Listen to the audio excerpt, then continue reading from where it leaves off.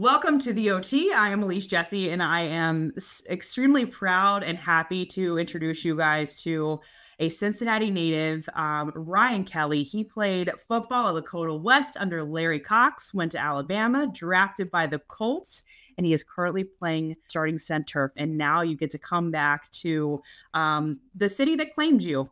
Basically, we I, I do feel like working in Cincinnati so long that we claim you as one of our own for sure. Um, the first question I got to ask you though is how many people asked you for tickets to this game? I've known I know you've played the Bengals throughout your career since you were drafted, but I'm I've got to think that every time you come to Cincinnati, it's like everybody surrounds you in this city to try to spend a little bit of time with you and Emma. Yeah, it's really cool. I have a lot of friends from high school uh, who still live in the tri-state area, and they, you know, big Bengals fans, go to a lot of games. And obviously, with the Bengals' success the last couple years, uh, it's definitely doubled, uh, but it's pretty cool that you know that they'll all be there. Uh, you know, rooting for me, uh, rooting for the Bengals, and um, it's always special coming home. You know, we used to play that four preseason game in Cincinnati quite often, and I always thought it was kind of a cool com- uh, homecoming game, even though I, I, really rarely would ever play in that game. But um, just being there, and you know, I, I, grew up a Bengals fan. Corey Dillon was like my first yeah. jersey I ever had. Uh, to come back and then to play in that stadium is pretty amazing, and um, certainly all of our family being in Cincinnati still. Just it, it's I just love it. I mean, I um, actually brought in a couple rolls of Goetta to the uh, to our staff. Look uh, at you. Yeah, to our uh, kitchen staff a couple days ago, and I said, "Hey, if you guys want to cook this up for the uh, the week, let's fire it up." And so uh, I, I'm I'm the biggest Cincinnati guy in Indianapolis. There's no doubt about it. So. Well, and Emma, your wife is from Cincinnati as well. Do you do you guys eat skyline after the game or do anything like that? Like so there's this there's one skyline close to our house and it's just not the same. Like when you cross over the when you cross over the border on 74, once you start getting into Ohio, it just tastes different when you're back there. So we uh we tried it years ago. Um, but no, we, we savor that moment for when we go back. So we'll hit the we'll hit Skyline, we'll hit La Rosa's, Graeter's, and then we'll pop out or UDF or something like that. So that's kind of our that's our trifecta, and then we hit home. So that's a good that's a good weekend for me if we can do that in the off season. I love it. That's that That sounds like a perfect weekend, especially with eating. I mean, Graeter's. They just built one across my house, uh, across the street from my house. So I'm super excited about that. That's um, thank you, thank you. I'm very happy about it. Um, wanted to talk to you a little bit about the Colts season because, like the Bengals, the Colts have faced uh, their fair share of adversity so far this year. I mean, drafting Anthony Richardson um, in the first round, expecting him to be your quarterback, and then he suffers an injury to his shoulder, has season-ending um, surgery. What was, I mean, what was that moment like? Because now you're relying on Gardner Minshew, who I think is quite a character all by himself. Um, what was that moment like for you guys as a team, knowing that the guy that you were relying on is not able to go out there and perform, and now you have to turn to Gardner? I think in any just being in this league for so long, uh, there's always going to be adversity. I mean, there's there's never the perfect season where everybody stays healthy. It's just the reality of the business. But uh, I think I talk to the local media here quite often about it. Is uh, you know, like you know, the the Gardner Minshew, you know, he gets a lot of questions. The hair, the persona, you know, um, but a lot of people don't see is when he got here in April, uh, before we drafted Anthony, before the quarterback situation um, would play out. I mean, he, he truly came in and there's a reason that he's been in the league this long is because he's a veteran. Uh, he prepares hard. He loves his guys. Um, he just has that competitor's mentality where doesn't matter the play, does the, the perfect defense doesn't matter. Uh, he's going to go out there and get the guys to go play hard. And he's going to play hard himself. He's going to be prepared. What was your first impression of his of him personally? Like, what is his personality like? Because I've got to think with the hair and the stash and all that, he's got to have a pretty funny personality working. Yeah, I mean, he's just he's a hard person to pin down as to put you what you want bucket you want to put him in. But uh, I mean, he's got the Jethro Tull, like you know Matthew McConaughey, Dazed and Confused kind of vibe. But then he also, I mean, he works his ass off in the weight room, and uh, he's super competitive. So uh, he's a blend of a bunch of different places. I think you know uh, he, he played different. He played college a couple different places. I think he took a, a little bit of that wherever he went, and uh, he's he's a perfect blend of uh, all, all the things you would want in a quarterback and just interesting guy, but uh, I love him to death. What does it say about this team to start out three and four, lose your starting quarterback, and now be in a position where you are playing for a playoff spot. Yeah, that's, that's just that's what you want as a competitor. I mean, you want to play football that means something in November, December. I've been on teams where it didn't. You know, last year certainly one of those, and uh, it's a it's an ominous feeling coming to work every day, knowing the team's going to be different, um, knowing that there's no chance of playoffs, no chance of anything. I mean, this is a you know, you only get so many years in this league, and um, you know, you don't you don't want to waste one, right? So I think that it's amazing that this team has overcome so much adversity. Um, and you know, look at some of the games that we've played in that have been close. I mean, or you know, you can always say you know your record can be better, right? And I think that this team feels that, and we never feel like we're out of the fight, no matter if we're down in the fourth quarter or if we have to go into overtime to get a win in Tennessee. Uh, it doesn't matter. Uh, this is truly like a, a, team, and that locker room is is so tight knit. A lot of the same guys as last year, but I think when Shane came in from day one, you know, he had some expectations from us the accountability factor. You know, we're going to have fun, but we're going to execute. And I think if you bring all all three of those things together as a team, uh, it can be very dangerous in, in December. But uh, you know, this is the thing about the NFL. You got to prove it every single week. Doesn't matter what you did last week. No one cares. Uh, it's all about this week. So I'm going to talk to you a little bit about your your out of football life, um, Emma and you went through an extremely tough time a couple of years ago with um, your daughter being delivered prematurely at 19 weeks, I believe she was. I truly think that you have helped so many people who have also endured um, similar situations that you guys have had to go through. What was that like and what what kind of view did you now have about um, emma after going through um, something like losing a child yeah, I mean, it was. I mean, it, it still is the the hardest time. I mean, I you know, I can't see a guy with a daughter. You know, it doesn't matter if she's one or if she's ten, right? Uh, yeah. Emma's Emma's two sisters were also pregnant at the same time. Uh, one of them she knew, the other one she didn't know. Uh, so when we found that out, right, like those, yeah. Whenever we see those kids, it's a constant reminder of where how old our daughter would be. Um, so that's like that's a that's a daily tough thing to swallow, right? But that's just yeah. the reality of it. Um, but kind of a couple things happened when that happened. We had HBO Hard Knocks following the, the, the Colts that year. Mm-hmm. Um, and ultimately, that was kind of a blessing in disguise because we were, I mean, they were there when we did the gender reveal uh, with mm-hmm. Mark Glowinski. They were all, he was actually our neighbor at the time, uh, played right guard for us for a couple years. We were really close, um, still are.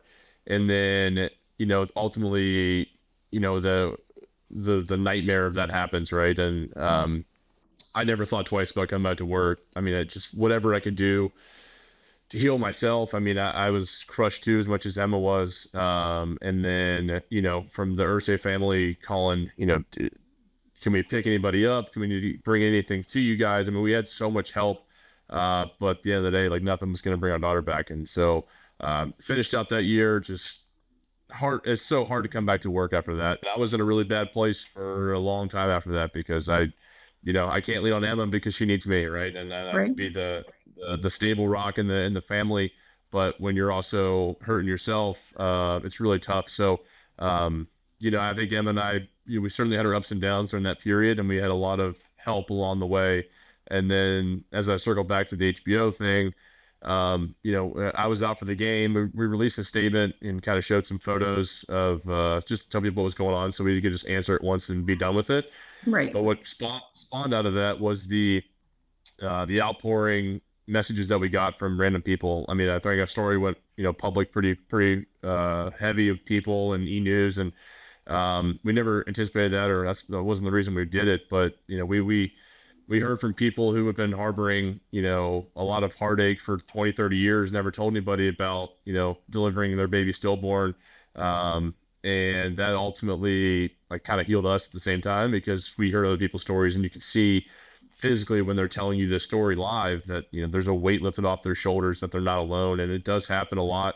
You know everybody wants to see the the little bows on the girls when they come out of the hospital but uh, it's a pretty damn empty feeling when you leave that hospital just a, a, care box. We're in a much better place now you know after uh, you know trusting god trusting this plan for us and, and now we have two healthy baby boys. You guys had duke and ford your twin boys. Um, in nashville was you said it was 27 weeks Yep. Um, weeks. Will you? They had to spend 90 days in the NICU in a city that was not obviously Indianapolis. You guys didn't live in Nashville. Yep. will you take me through just that time of your lives? Obviously, you're excited because you have your babies, but you're also like praying every day, I'm sure, that they're okay and that one day you'll be able to take them home. Yeah, uh, I'll just give you just the fastest summary I can. But we were there for a wedding. Um, Emma goes and she thinks she's having a contraction. So before this, she had actually, um, because of what had happened to us, wherever we went to a city, she always tried to find the closest NICU to there, um, or some a level that you know that had a great hospital for that.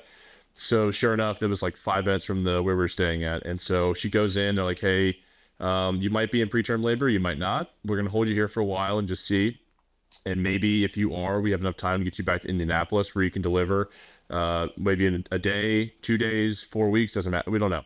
So sure enough, four days goes by and the boys are coming. So we have to, granted, this time all we have is two bags that we packed for a wedding. Um, our dogs are still back in Cincinnati with our family.